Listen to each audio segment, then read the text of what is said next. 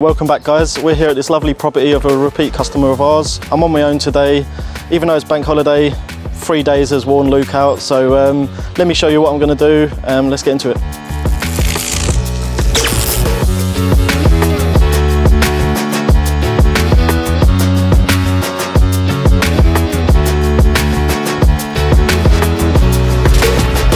So the first socket is going to come from the fuse board, up and along, down this column, and we're just going to be sticking a socket here next to this guy. The second lot are going to come out the side, through and under this stairwell and into this room. We're going to come out around here somewhere. We're going to have a couple of sockets here for this charging station, and then we've also got to come up along here, and we're going to go out to the external side of the wall and we're going to run down to a whisker box and that's going to connect to our armoured through the ducting to the greenhouse.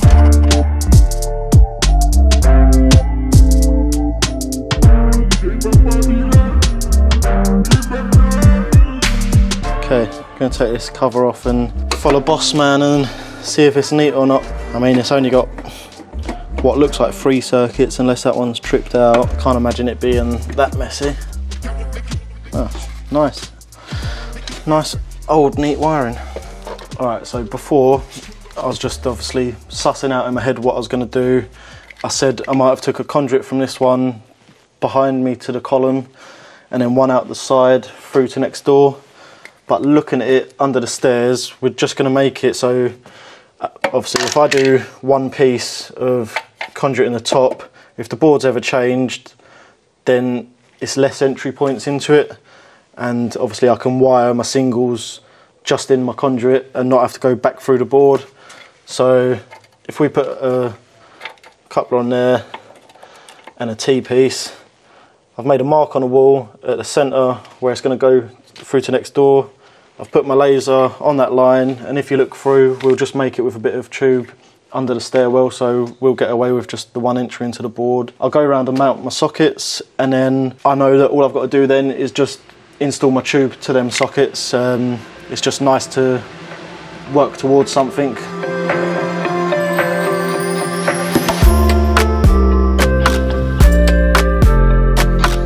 Over at the column, I've made a little mark. That's the top of my workbench. So I think I'm gonna go on the third brick up just to allow a nice bit for the plug. And a good thing, always before you start mounting your box, you've got different knockouts around it, so check what way you want to do it. So I've got two on this side, flip it around, I've got three on this side. I think I want to take the one with three. I can either use the center one or the very end one. So we're going to come up the edge of the column and we can just do our tube behind the uh, skull.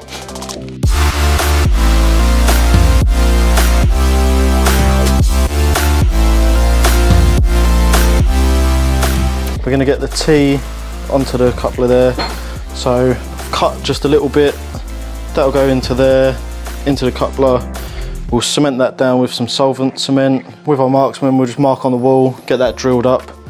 But I was just going to say, I've not used this stuff in years and it takes me back to my very first ever sort of couple of years from leaving college. Not sitting around the corner sniffing it, but I'd done a long job on Harlow Hospital. Me and a good mate of mine was just doing tube everywhere and yeah, just the smell of that takes it back to, I mean, I guess you could take say it was my apprenticeship, but it wasn't, it was just work. But um, yeah, makes me feel old. Speaking about my first job, uh, write in the comments below and let me know what yours was.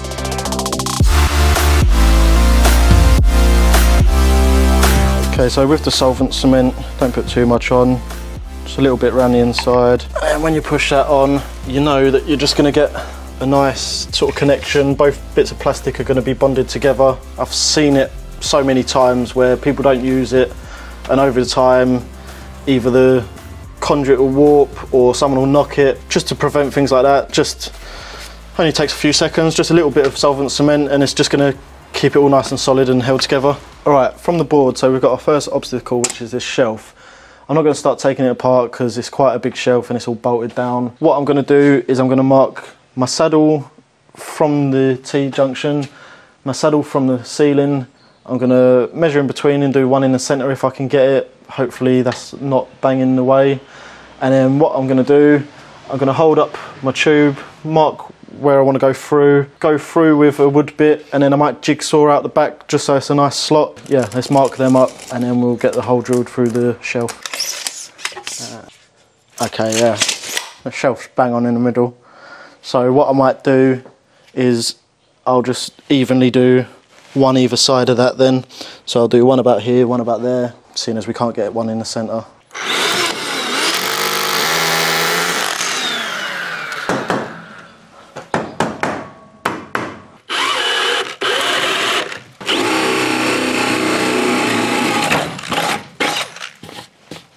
So I want to do my first bend onto the ceiling.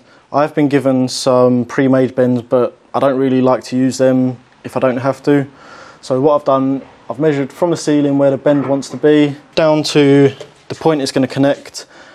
Uh, we've got 1700.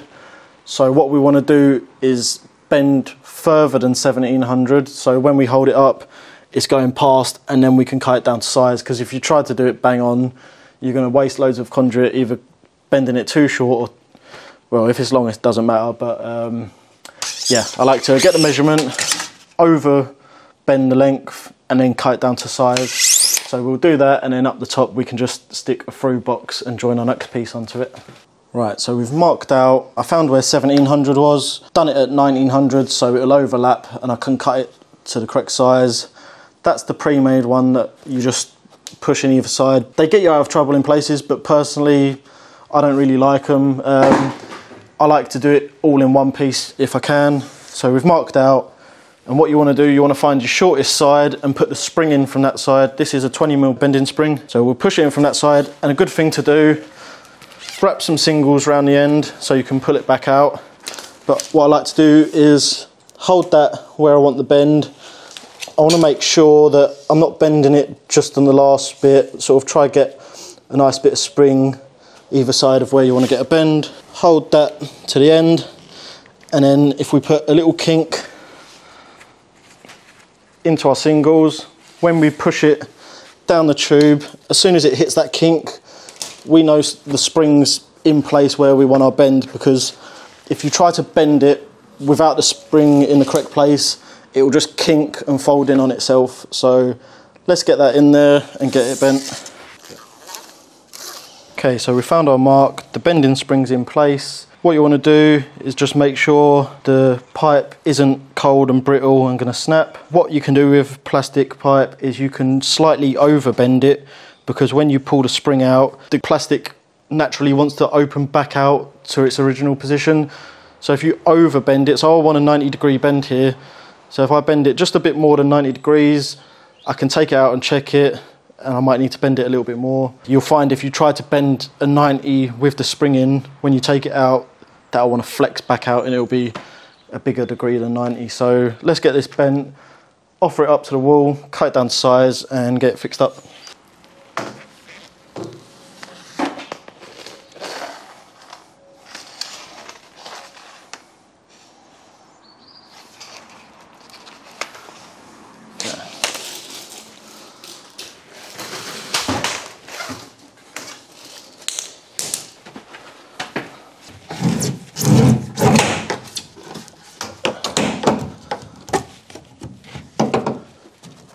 Can see we've got our 90 degree bend in place and you can see that it overextends past the T-junction. So we'll mark on there now where we want to cut it down to and we can get that cemented in, put our clips around it and then we can reset our laser to go along the ceiling and from there we can stick a through box up here and just carry on with the run. Make sure that it's pushed up and the bend is where it needs to be because you don't want it to let, let it slip and then make your mark and be short. So push that up to where it wants to be. You can see we want it about there. We can always make a slight adjustment, so make our mark and we'll go get our pipe cutters and cut that down. So what you'll find, if you cut conduit with a hacksaw, you'll get all the burr around the edge and you'll have to deburr it. But if you get a set of just pipe cutters, it will leave a nice clean cut. I actually got these ones from my granddad. As you can see, they've lasted quite a few years, but it just goes to show there's no need to buy brand new tools and spend hundreds of pounds. These are years old, probably cost about a fiver, but they do the job. So we'll go to our mark, you can see it there. get the blade onto the mark and you just ratchet it and you've got a nice clean cut there, no burrs, good uh, tool to keep in the van. So what I've done is the tube's up on the ceiling ready, laser's set up to that, we can see where it's coming down the column, so I'm going to mount this in place where I want it. I'm just going to repeat the process, mark out my saddles, get all them fixed up, do a 90 degree bend on this side, we'll go from the through box and we'll just work our way down to the socket. So I'll just crack on with that and uh, let the B roll.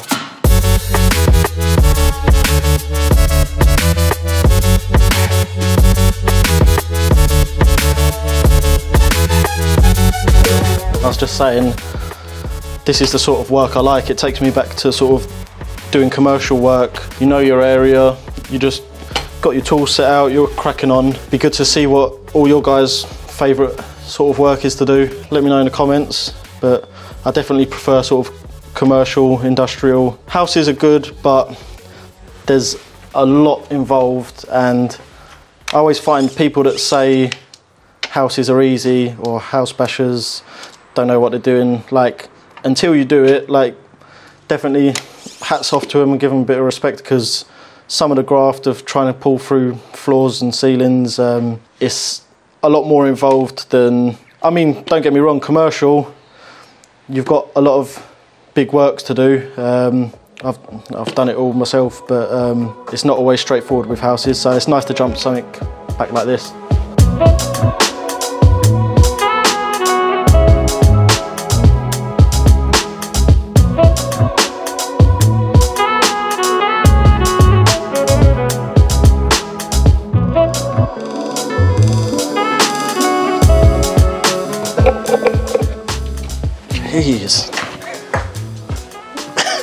Put it?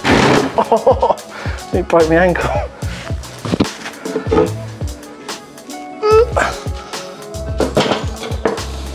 What are you going to call it? Luke.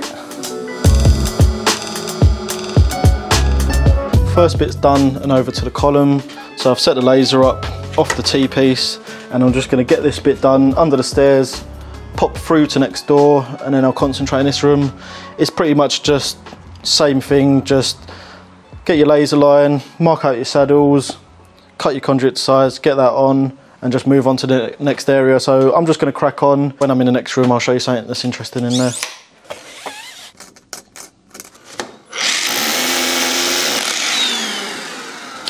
Maybe I'll do that. Up to a T there. Along to a 90, down to them two sockets. Up, bend it onto the ceiling. And then I can just set it down below that cable. Or do I keep this low? T just up above the shelf. So fix that.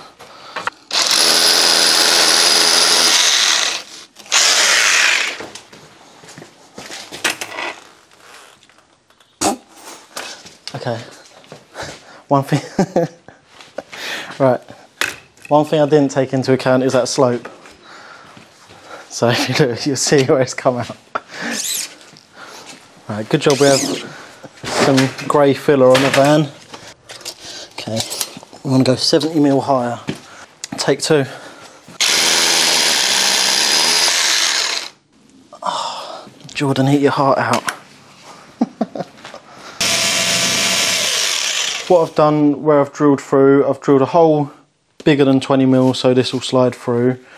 And then because it's in the corner I've drilled a hole far to the left hand side of this stop end box. Put a bush coupler there. And I, what I've done is I pushed a tube through first and connected it to the other side. And I just put a pencil mark literally flush with the wall pulled it back out. And then I've held the stop end box where the line flush with the wall was. And I've taken it back down to where the length of the tube needs to be, cut it down, I've cemented that together. So when I push that through that's going to sit flush to the wall, that's going to join up with my stop box on the other side. And then we know the cables are protected through the wall as well, they come straight through into the box and it's all one piece then.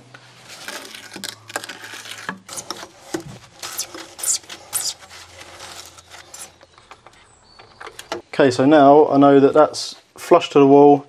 The conduit's protecting the cables where they go through the wall because I'm going to be using singles. And then from here, we can just come up. We'll put a T-piece, come along to two sockets there on that little workbench. And then we can carry on up over this room and drill through outside, ready to go to the greenhouse.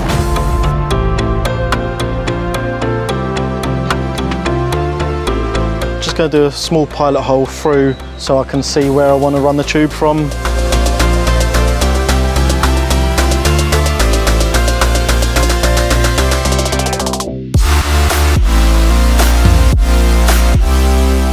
Alright, so what I've done on this bit, I've had to do a 90 degree, but then if it was straight, it would be coming here. I've had to put a kink in it because where I've got this T-junction, it's not flat against that wall, so when it goes up through the shelf, it's not going to sit flush against that wall. So with the kink, that will be straight and it'll just kick out back to that line. That's a good thing about a bending spring and plastic conduit, you can manipulate it to where you need it to be.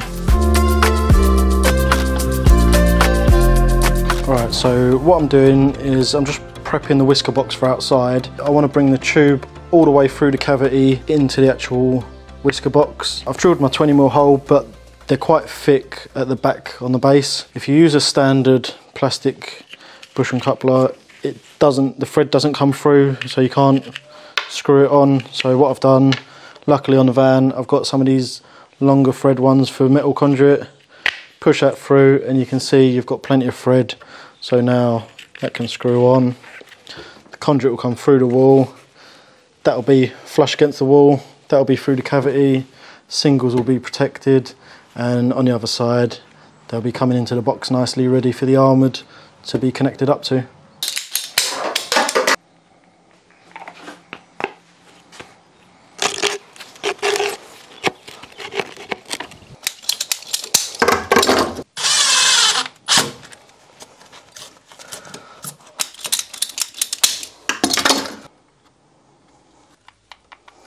Alright, so that's all the containment done. I'm just going to put away some tools that I don't need, just keep a nice clean work area. Once that's ready, I'm going to set up the cable jacks and start pulling in some singles just through to the sockets. I might get up to the whisker box and then at least the inside's pretty much wired. I can put the sockets on and then it's just a case of taking the lid off the whisker box and running the armoured through the duct to the greenhouse. Just going to repair um, a couple of the small pilot holes that I made earlier. This Soudal uh, Repair Express is really good. This is the grey one, seeing as I've drilled through breeze block here, that'll just blend in. They do a really good beige one that's good for mortar lines outside. I haven't found a red brick one yet, but if they do one, let me know because I could do with a tube of that on the van. I'm also going to just give the conduit a quick wipe through with big wipes just to give it a nice shine.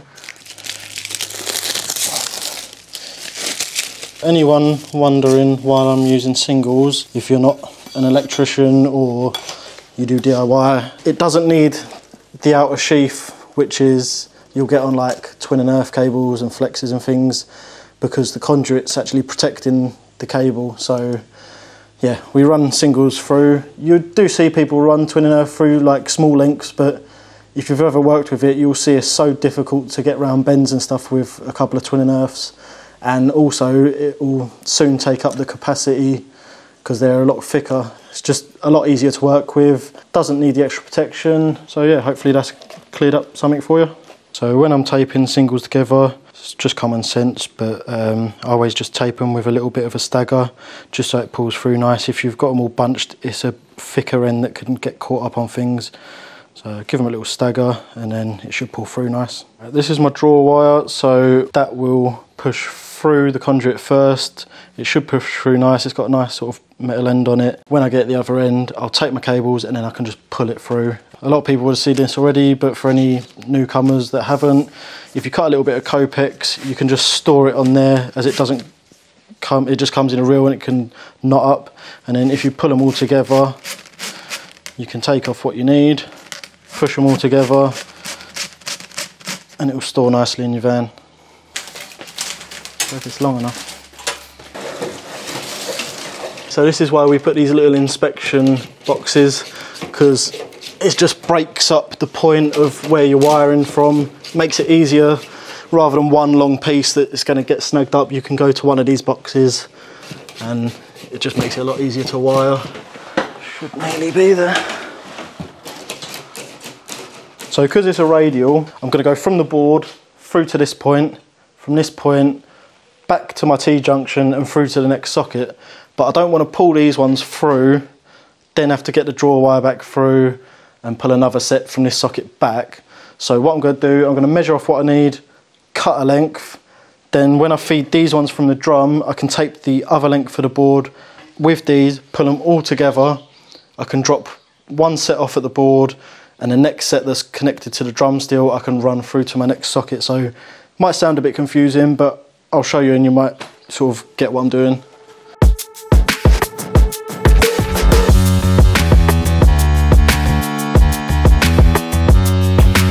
When I'm taping onto the draw wire, I take the front end on, but I always make sure to tape this back end as well. Anyone that's pulled through conduit before will know that if you've pulled through and it snags up and you want to pull it back, if you've not taped that bit, it's going to fold back on itself and start getting caught. So if you tape that back up, you can pull it both ways if you need to.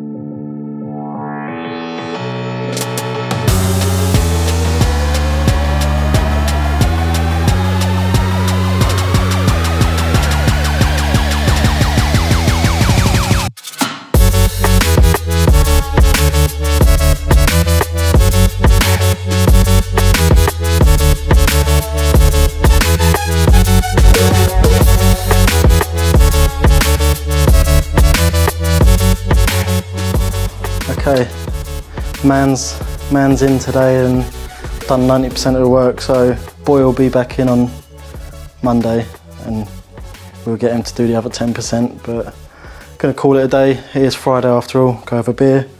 And then all we gotta do is put in the breaker, armoured through to the greenhouse, uh, a couple of sockets in there,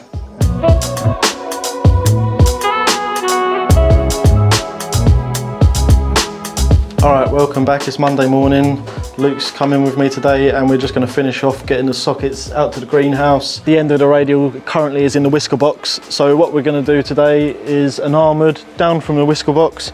It's going to go through the duct in, under the slabbed floor, and it's going to come up to the corner of the greenhouse. We're going to put an IP rated socket so we can use it for lawnmower and things. And then we're going to pop into the greenhouse and do some conduit round just to another socket inside for, I think like a heater and things. So let's get the armoured through the duct and see how that goes. I'm going to tie this armoured on, but rather than just taping the rope straight, and if you pull and the tape comes loose, that is just going to come off. So what I like to do, just make a little loop feed that onto the armoured and when you pull it tight it kind of tightens itself up so you can tape over that and it's just going to help tighten when you pull the rope and pull it through. So I like to do that a couple of times. So I'll do another one.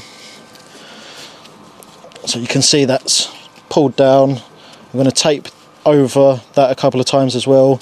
So the more pressure I put on that rope the more tight it pulls around the cable and that's going to help it pull through. There's your gloves mate? Don't get supplied any. Better call J Dog and get him to order some. Is that a tight bend? Yeah. Right, pull it back to you. Right, now push it down one, wait, one, two, three. That's it, that's it, got it. I, I reckon undo the ropes. It's probably worth leaving the rope in for future. Oh yeah. All you need to do is just pull it long enough to go up to the whisker. Maybe Yeah. a little bit longer. Yeah. Yeah? Yep. Cool. I'm just seeing roughly where, where to the Maybe- hole of the through box. Maybe do that one a bit lower Yeah? because it's only for lawnmowers and stuff. Maybe do it so you're drilling somewhere there. through like the Yeah, corner. corner, cross section. 450's there, so I'll do on that one.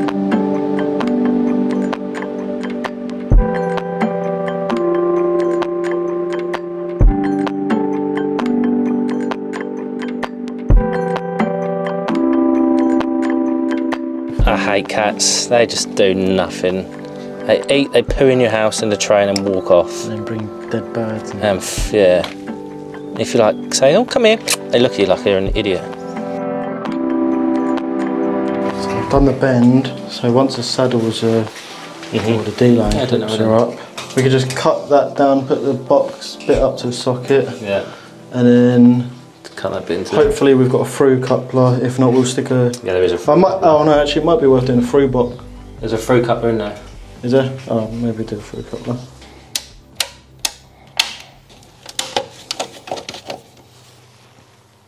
What? You want a screwdriver? Client, send me a new screwdriver. Oh, let's go down to Swanee. See on the latest video, John and uh, Ruben were speaking about their worst electric shocks. Luckily, I don't think I've had any that come to mind that were terrible. More just little things from stupidity, like especially old fuse boards. Uh, I find the really old Crabtree C50 boards, um, just where everything's exposed. Like you take the cover off and you've got bus bar on show, like everything. Like if you've not isolated it properly, it's um, really easy to touch something. In a real world, it's not ideal to always turn the whole board off if you're working in like an office or something. Obviously, you should go through a proper procedure and be able to isolate, but everyone knows that's not always the case. So, if I'm working near a fuse board, I always like to put my gloves on now, just um, bit extra protection. But luckily, I can turn this one off. I'll go, I'll go ask Luke and see what if he's had anything. What's your worst electric shock? Was it what I've had one with you? Never. yeah, i've Never. I That's the only times I've had one. Um, trying to think, I've had one while talking to a customer. It was here. The fan was wired up dodgy, something else, and assumed the circuit was off. And as I was talking to the customer, I was holding it like, yeah, and he's like, "You all right?" And I was like, "Yeah, yeah, no, good." Good. He, he didn't realise. Yeah, we're just going to finish off the greenhouse now. So we're getting a conduit round to where the IP rated sockets on the outside. Luke's drilled through, put a bit of conduit through the wall, and we're going to do the inside of this bit in singles. So he's just under there putting the saddles on, and we're going to stick the socket just up here, and then we can push all this shelving back with the um, melons on. And uh, yeah, we can get into some testing, and I'll show you that.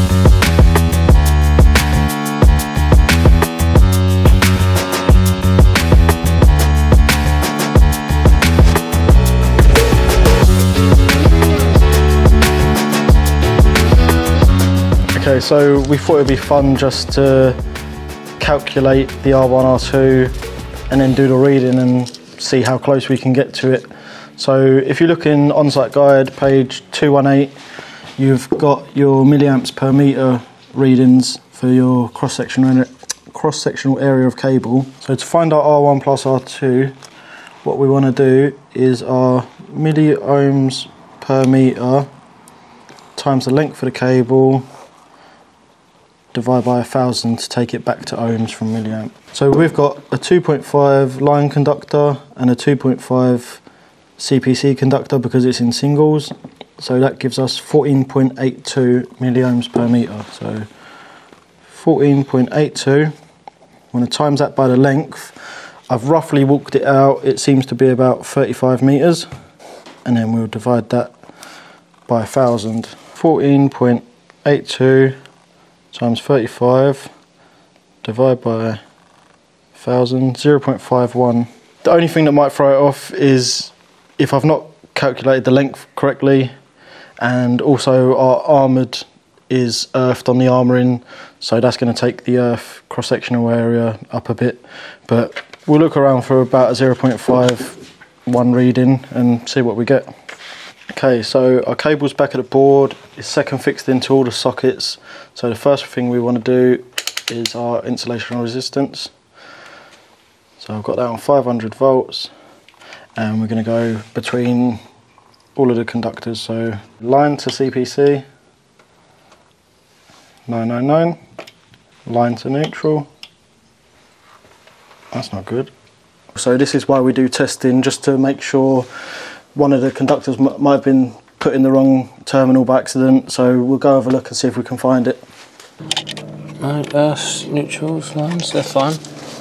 If you want to disconnect your side, I'll test just the armoured. That's all good.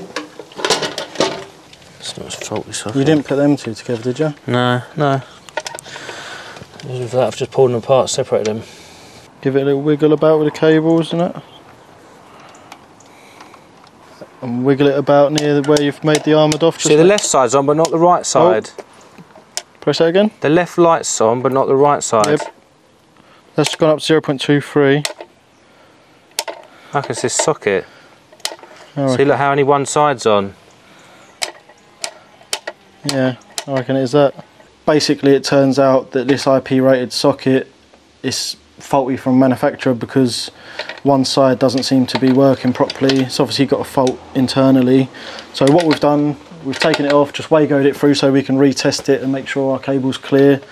And if it is, what we'll do is just swap out this internal socket. Uh, you can keep the surrounding and just unscrew these four screws, put a new socket on the back and you can still use it then. So let's just double check our cable's okay. Yeah, cable's all good, so it was a faulty manufactured socket. That's why we always test before we liven up, just to make sure everything's safe. What we're going to do now is our R1, R2, so I'm going to connect line and CPC and away go. We're going to go to the last socket on the radial, test from there, and fingers crossed we get around the reading that we calculated earlier. Moment of truth. Alright, it was a little bit higher than what I said, but not too far off. 0.10 higher, so I might have got the meterage a bit wrong, but I'm happy with that. So we can put that back in and then we can liven it up and get our ZS reading. It's probably about 41, 42 meters by the time it goes all through the tube and through to the greenhouse, but um, yeah, it's just good to do the calculations and see what you're working with really. So we've done our insulation resistance, we've done our R1, R2, and then I've just gone around all the sockets after livening them up and I've got the earth loop impedance reading from every socket, turn the switch on and off for polarity, make sure they're switching correctly. And at the last socket where you'd expect it, the highest reading was 1.08 ohms.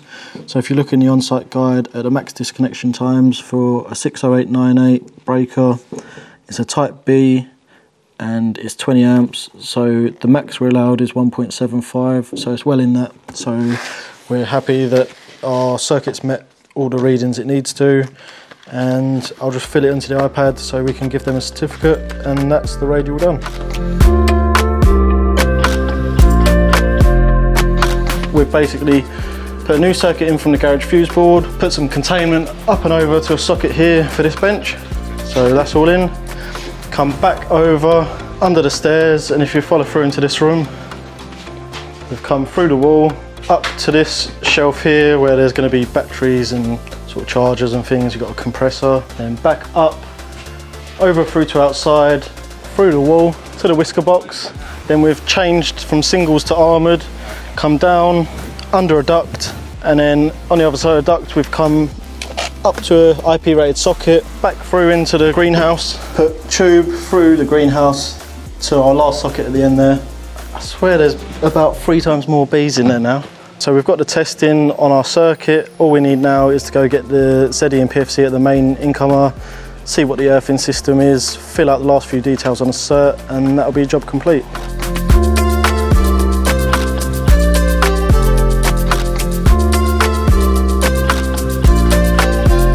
Thanks for watching another episode guys. Next time we'll be back to do the battery storage, so stay tuned for that.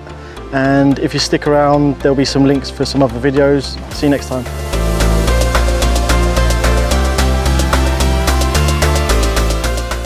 Right, so we've got our first obstacle. Start that again. All right, that's it for today. Sorry. right, that's the job completed. So hopefully I've shown you some interesting things that you. what? The thing is, every video is it's just the same. That's isn't it? job done.